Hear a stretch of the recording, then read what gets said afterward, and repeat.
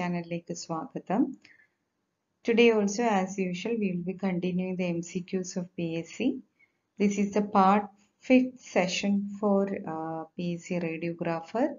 I have already done 4 sessions for PSC radiographers and all those questions I have taken from the PSC bank so that it will be very easy for you to understand if you are watching all other sessions and if you are watching this fifth session for PSC radiographer. So before moving on to this session, those who wish to join my application, I'll be giving the link of my application in my description box. So all the documents for UK registration as well as CORU registration, CMRT, everything is available in my application. Along with that, not only for radiographers and radiation therapy technologists, this application is open for all the allied health professionals, for example, laboratory, dietitian, uh, physiotherapist, uh, occupational therapist, speech and language.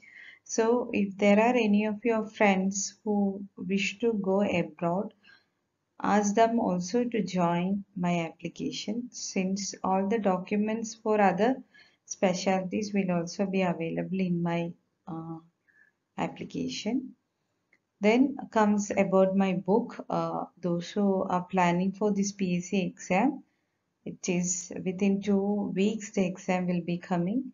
And those who wish to uh, read the book can purchase from me. And the cost of this book is only rupees 199 including the shipping cost. So let's begin today's session PSC for radiographer part 5.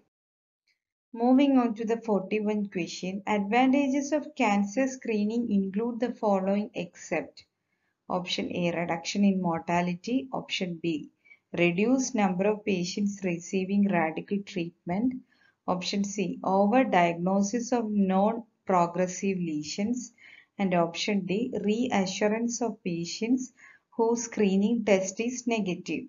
So the advantage of cancer screening include the following except so it's answer C over diagnosis of non-progressive lesions. So now let's see the explanation.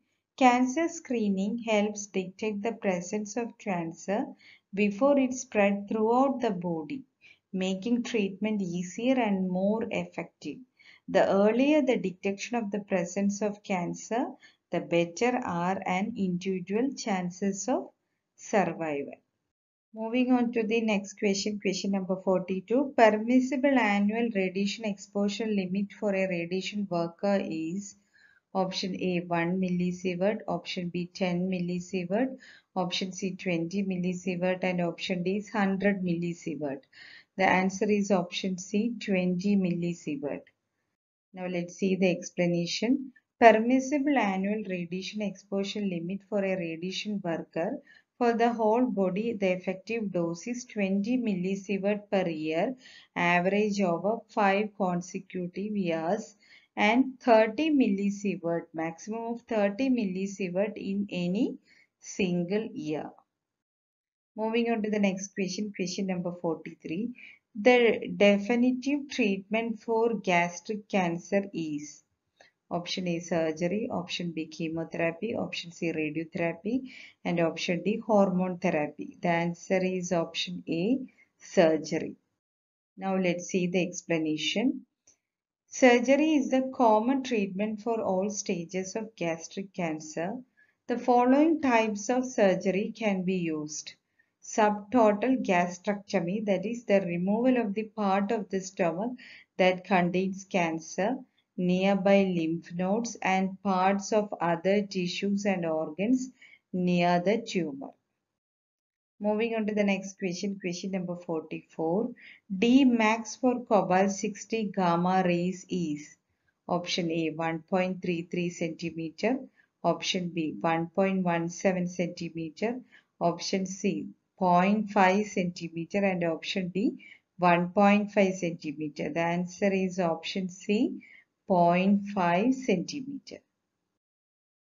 Now let's see the explanation. Cobalt 60 and cesium-137 are the most widely used sources of gamma radiation. Cobalt produces gamma rays with energies of 1.173 and 1.332 MeV and has a half-life of 5.27 years, whereas cesium-137 produces gamma rays with an energy of 0.662 MeV and a longer half-life of 30.1 years. Cobalt 60 gamma radiation typically has energy of about 1.2 MV and Dmax being 0.5 centimeter. Moving on to the next question, question number 45. Personal monitoring devices include all except option A TLD, option B film badge, option C gun monitor and option D pocket dosimeter. The answer is option C gun monitor. Now let's see the explanation. Personal monitoring devices are designed to measure the accumulated external exposure or dose that patient receives over some time interval. Moving on to the next question, question number 46. A radiotherapy simulator, option A, uses X-ray for imaging. Option B, uses gamma rays for therapy. Option C is a brachytherapy machine. And option D, all of the above. So, a radiotherapy simulator uses X-ray for imaging. Now let's see the explanation. Radiotherapy simulator is an essential tool for improving the quality of radiotherapy for a treatment of cancer patients. Major subsystems in the radiotherapy simulator are gantry, collimator, X-ray tube, imaging unit, patient support or the positioning system that is a couch and remote control console. Moving on to the next question, question number 47. Radiographic film is coated with gelatin layer containing option A silver halide crystal, option B silver bromide crystal, option C both of the above and option D none of the above. The answer is option C both of the above. Now let's see the explanation. A modern X-ray film consists of a radiation sensitive emulsion coated on a transparent polyester base. The emulsion consists of silver halide crystals, typically 95% of silver bromide and 5% of silver iodide, and gelatin which provides the suspension medium for the silver halide grains. So the X-ray films are all double coated and the single coated film comes under mammography as well as CT, MRI, all those films will be single coated and all the X-ray images are double coated means will be having two emulsion layer. Moving on to the next question, question number 48. Which of the following uses gamma rays?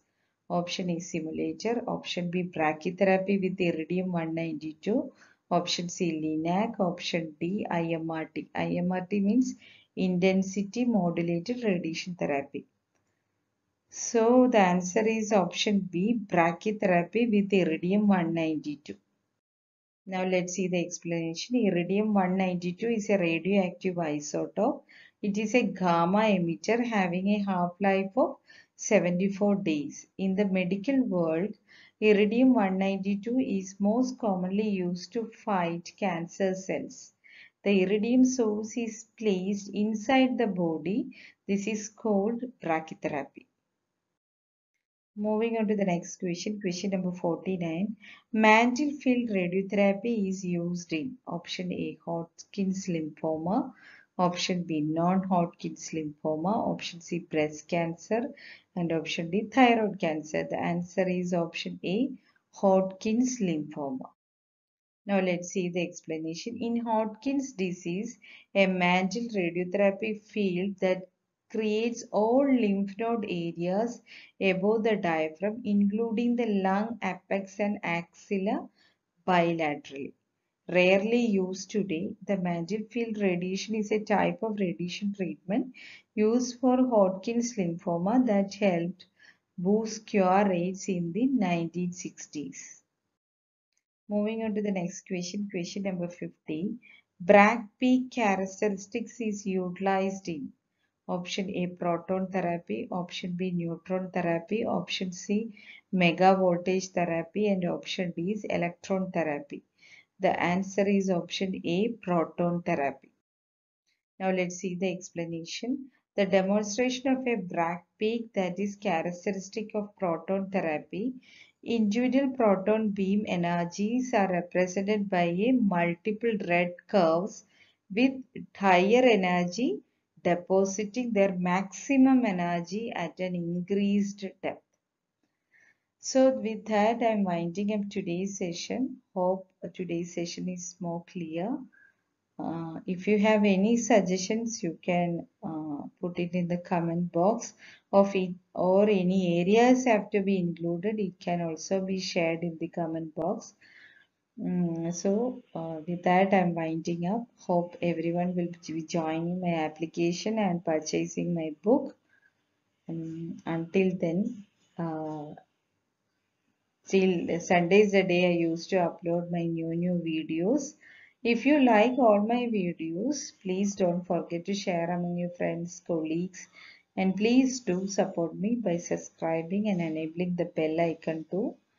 So, always be happy, don't be tensed, study well and score nicely, and come out with flying colors. Until then, bye bye.